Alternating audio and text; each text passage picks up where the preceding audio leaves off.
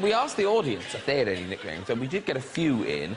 Uh, Ari, Ari Olafson? Ari, Ari?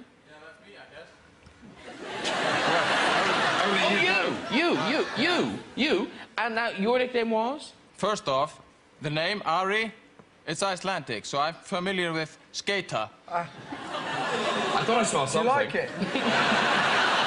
Yeah, I do. We all like it. That explains a lot. All right, break it up, you two.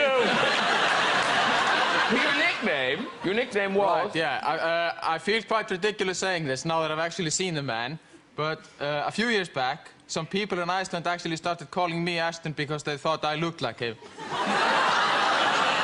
Uh, it's spit an image, bud. To be fair, Graham, he has makeup on. I do.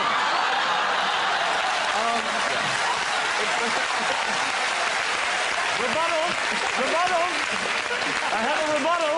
I have a rebuttal. I would like you to know, and I will let the world know, you can come inspect if you would like. I refuse to wear makeup on talk shows. I never do, never, not once have I ever, and you can come look if you want, good sir. That's all of me, baby! Beautiful. I blame the long, dark winter nights in, in Iceland. I've got four pounds of makeup on. what, was what was your full name? Uh, first off, I actually quite like wearing makeup. This is like,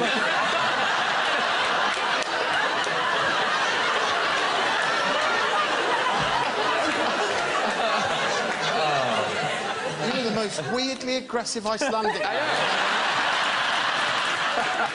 He's the angriest man alive. Move the pole.